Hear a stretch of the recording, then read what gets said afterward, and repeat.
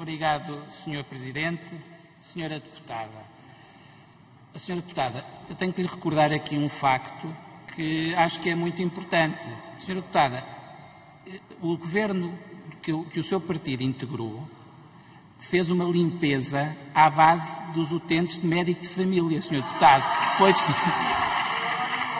Senhora Deputada, senhor, os senhores limitaram-se a fazer uma limpeza à base, porque em relação, em relação a meios para o Serviço Nacional de Saúde, Senhora Deputada, olha, em 2010 eram 8.600 milhões de euros. Sabe quanto é que era em 2012?